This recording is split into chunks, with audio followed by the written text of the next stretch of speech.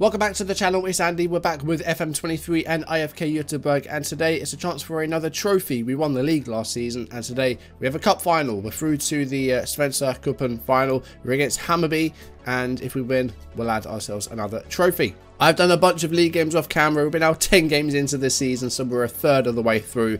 Uh, we've got here to the cup final, so let's see if we can win it and win ourselves a trophy. If you're enjoying the videos, as always, drop a like, leave comments, and subscribe if you haven't, or if you're new, turn notifications on, check out the second channel down below. We'll be starting something new very, very soon. We've just about nearly finished Dead Space. I think there's one more video that'll come out of that. then we're going to start a new series over there. But here in the cup, we have made it all the way to the final, and we're facing Hammarby today to see if we can get ourselves that trophy. We got past Norrköping and Elfsborg in the quarters and the semi-finals. Hammarby knocking out Malmo and knocking out Sirius. Although it is taking place in the Tele2 Arena in Stockholm, which is the home stadium of both Hammarby and Djurgårdens, they share that stadium. So the final was away from home, which seems a little bit unfair to me, but we'll see if we can get through it. In the last video, we lost to Malmo in the first game of the 2025 season. They beat us 2-1. They've got our number and they've beaten us three times in a row now in the league.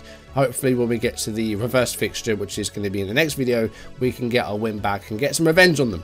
We beat them to the league last season, but in terms of these individual fixtures, uh, we can't get past them. We did play a grand total of nine matches off camera, though, all in the league, and uh, did really, really well in most of those games, and we didn't actually lose any of them. First up was Sirius, and we took a 1-0 lead uh, midway through the first half, with Kulikov getting the goal. And then we double the lead on 35 minutes. Peñalosa with the cross. Olivieri with the looping header beats the goalkeeper and the lead's doubled. And we win 2-0 against IK Sirius. Then we faced Djurgårdens, Hammarby's city rivals uh, in the same stadium in the Tele2 Arena, which is where we're playing today. And in this game, we went behind after just 10 minutes. Anderson beating the goalkeeper and Djurgårdens took a 1-0 lead. We equalised in the 52nd minute. Just some really bad play by Lofgren, sent through Kulikov, and we were gifted the equaliser.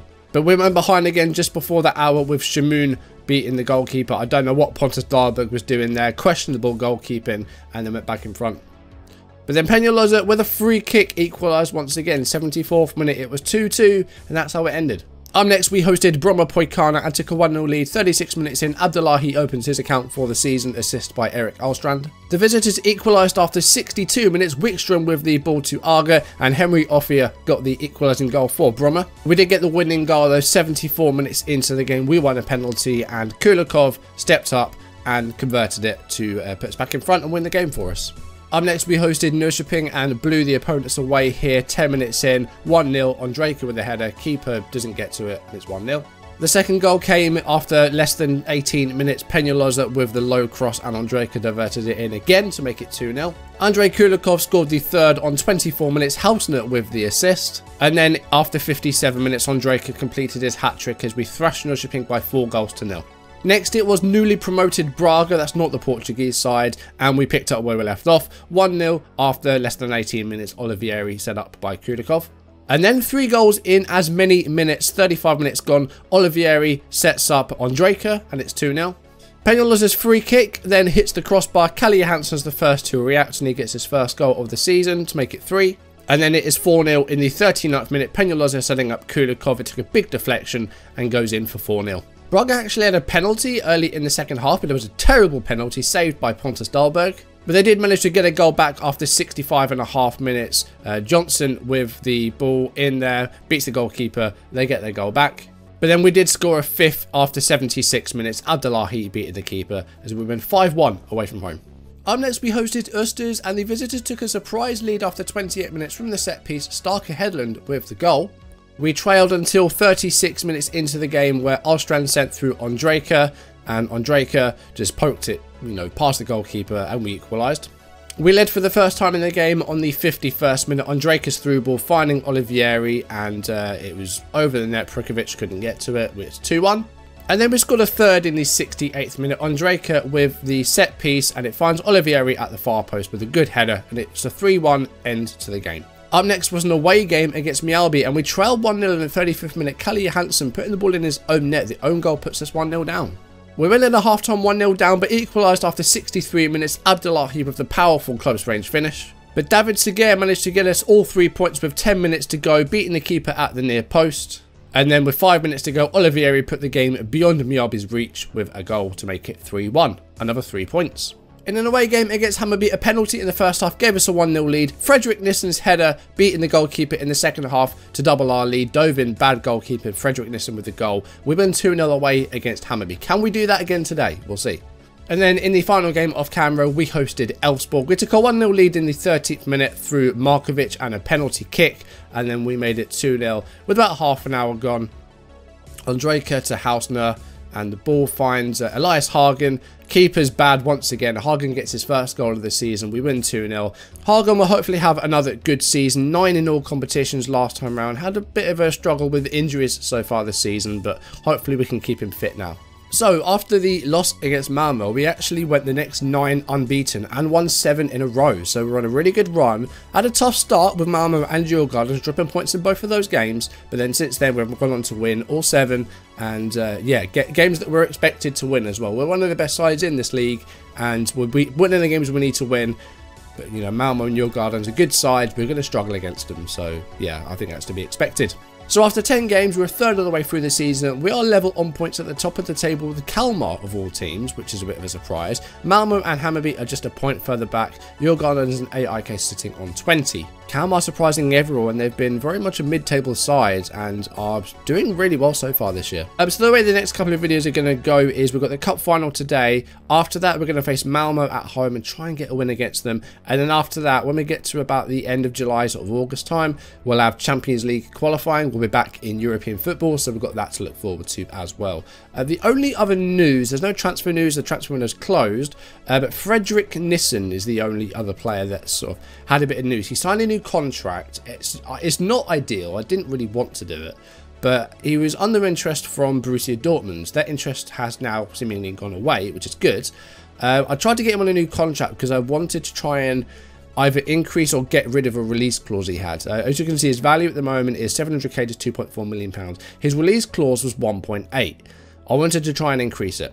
I probably shouldn't have given him a new deal because he's now on three and a half grand a week. He's now a star player uh, which is absolutely busted in FM because if he's a star player and he misses a game uh, that isn't because of an injury, he will have a go. Like he will expect to play every single game, even if he's tired. So it wasn't the best thing to do.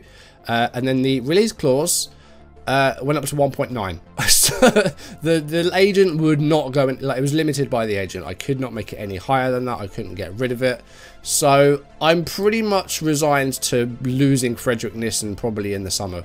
It's not ideal, but if other teams are going to come in for him, if Dortmund come back in, my hands are essentially tied because they will happily pay 1.9 million pounds for for a player like this. So I'm I'm pretty much resigned to the fact that he's probably going to go in the summer. There's not a lot else I can do about that, unfortunately. But he's done really, really well, and he will play as often as he can um, a star player. Even if I rest him for a cup game, if he doesn't play that, he'll still have a go. That star player is busted on this game. I think that's the only news. Abdullah is injured at the moment, as is Sebastian Alström. Uh, and Carnell are also not quite fully fit, but no other news. So let's jump into the cup final. So with Abdullahi injured, Olivieri is going to play alongside Kulikov. Ziad Larkesh has not had the best of uh, times at left back. He's played a handful of games. He hasn't been bad, but he hasn't been great either. Parkanate has kind of not really found himself in the side, but I think we'll give him the game today because he's fully fit and yeah, he, he, he, looks pretty good. He looks raring to go. Carlen and Kusu are giving me a bit of a selection headache at the moment. They're both doing fairly well. I'm going to go with Carlen though just for the experience. And Elias Hagen back in, he was in good form last season, so I'm going to try and reward him and give him the game in the, in the final here. I'm going to put Ondrejka and Peñalosa uh, in those wide areas and they will be swapping throughout the game. Kulikov and Olivieri up front together, that's fine. I think this is what we will go with. I'm happy with the team. Playing positive. Uh, we have got that line of engagement slightly higher. I might drop it for this one though, just to mid-block, that's fine. Okay, now we did defeat Hammarby by two goals to nil in a league game. Oliver Dovin was poor in goal for them. Dahlberg has had mistakes for us. He's a player that I'm happy to have in goal at the moment. But once he runs out of contract, I'd probably look to get someone else. But at the same time, he's also homegrown. So I'd probably try and keep him and then see if we can get someone better that we can, you know, build up to be as good as or better than him, I think. But here we go. The cup final is underway. And uh, has the ball here for Hammarby in their own half, and that was almost too easy for them. Daniel Maldini with a free header at the far post gives Hammarby the lead inside five minutes. That is not the start we wanted. From the throw in here, look how many players we had over, and the entire other side of the pitch, there was nobody there. Maldini getting away from the defender, and that's an easy goal for them. Hausner, not good there. And Hammarby looking to come forward again here. Mickelson to Nilsson. And this is not the start that we wanted. Colander again has got some space here. He's still going. The cross, or the, the sliding tackle misses. It's Vagic and long range strike just wide of the post. Uh, we need to wake up here. We haven't started this game well. Five minutes to go in the first half. Since that goal, there's been nothing in terms of highlights. Peñalosa's a bit injured, and we're going to go in a half time a goal down. And after that goal, the game just died. Look at this. Nothing happened. It was a disappointed first half. They got that goal, but then nothing else happened after that. Peñalosa is hurt. Um, do we stick with him, though? I think he might be okay. He might miss a bit of game time afterwards, but I think he can get through the game. I'm going to push up the pitch because we need to give the game to them. And so far, it's been a poor first half. We've had the possession, our passing's good. We just haven't managed to create anything chance-wise. And Maldini's free kick is saved by Dahlberg. And yeah, Hammarby have that early goal. We haven't seen much other than that. So we need to get forward and start creating chances. Set pieces headed away by Olivieri. And here's Nilsson. Teki. And giving the ball away there. Konate to Kulikov. And that's the end of that. Like, we, we need to get forward here. We're not seeing anything. Like, at all. Our strikers... I, I, I don't think I've seen our strikers touch the ball. And that's not good enough. Here comes Nilsson. That's too easy for Maldini. Good save by Dahlberg, though. We are we're disappointing ourselves here. This front four is not done well enough. I need to make some changes. This is not going well in the slightest. Um, but with no Abdullahi, I feel like we need to change the system. So David Seguer is going to come on for Olivieri, play as that uh, attacking midfielder in the middle.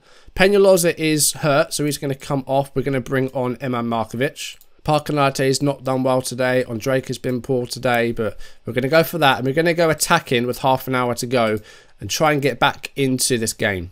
Nissen with a throw here, 64th minute. It's Markovic. Seguer, this could be the chance here. Kulikov, I think he's offside. That seemed too easy, but no, I think it's going to count. Kulikov is equalised 64 minutes in. He had so much space there, like to turn and shoot. I thought he was offside, but he is not. Emma Markovic with the ball to David Seguer. No, he was onside. He was just wide open. The players did not pick up their man, and we've equalised. Can we now maybe go on and win this one? 78 minutes gone. We can look at making some other changes. Midfield is getting very tired. Hagen is going to come off. And uh, Melvin Berg's going to play in midfield. Five minutes to go. It looks like we're going to extra time. Unless there's a replay because we're away from home. I'm not quite sure. Melvin Berg with a free kick here. About three minutes left of the game. Not expecting this to go in. Very rarely now do free kicks actually go in, even though we did score a free kick off camera. It took a big deflection, though. Headed away. It's going to come to Frederick Nissen. And the cross finds Ondrejka! And Ondrejka scores! Is it going to count? I think it is. 88th minute, we've gone in front. It's 2-1. The free kick didn't really amount to anything from Marcus Berg. It hit the wall, took a huge deflection. And then Pinas goes to head it into the corner. Nissen's there first. And then Frederick Nissen, great cross to Ondrejka at the near post. And he finishes it. Right, let's uh, shut up shop now. We've got two minutes left. We'll take it off attacking for starters. We'll go back to balanced. Just going to turn this tempo down. We're going to slow the pace down. We're going to turn off the high press. We're not going to trigger so much. Ondrejka is going to come off. We're going to get Manas Kuzu on uh, as defensive midfielder. Get another midfielder in there behind Seguer and Carlin. And we're going to take off Parkanate and bring on Ziad Larkesh. That's five subs. Does leave us one more just in case there's a late twist in the tail here. We've got five minutes of injury time now to hold on and win this cup. Nissen should hopefully have this under control. He does. Hausner to Seguer.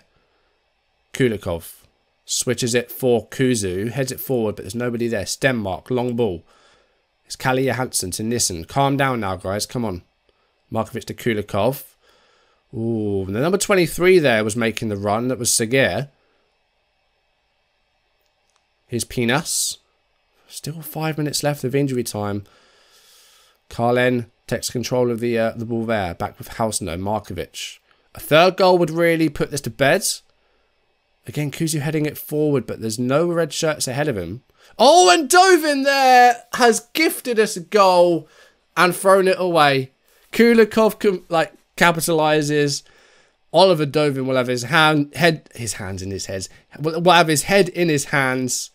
After that, look at this. Denmark back to the goalkeeper. Dovin, no pressure at all. Just gifts it to Kulikov, and he's got to feel sick in the stomach after that. Late corner kick for Hammarby, but surely too late now. Berg wins the ball. There's still three minutes left of injury time, but I feel bad for Hammarby there.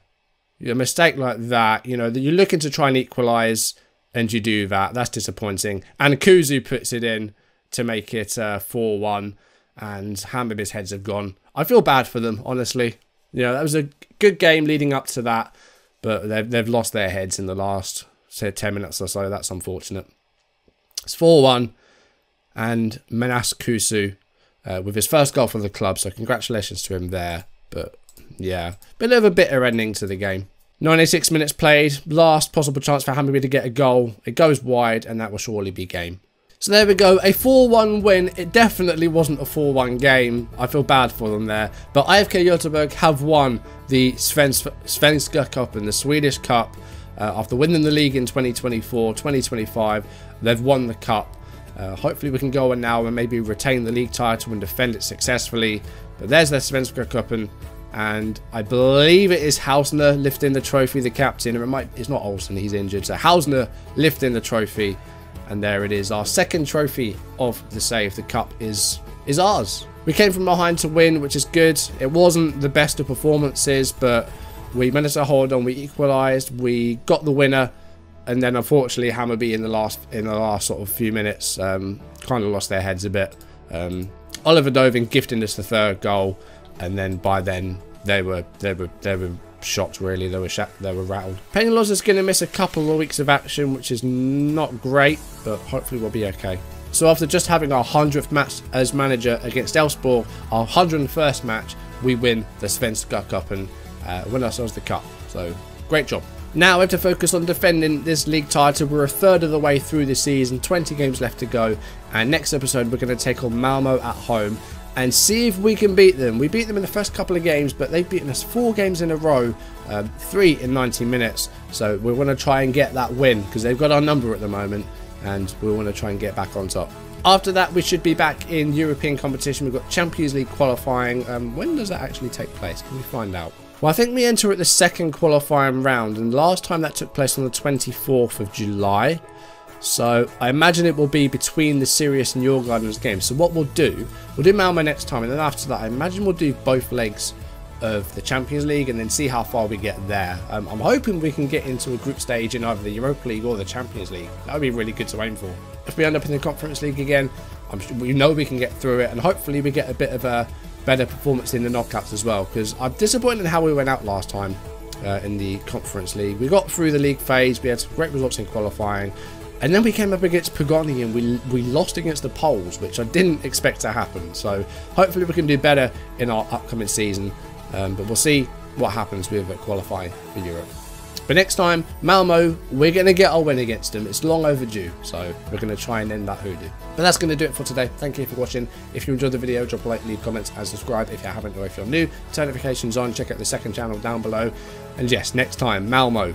It's about time we, we, we took their scalp, so we're going to do it next time. But for now, thank you for watching, and I'll see you soon. Goodbye.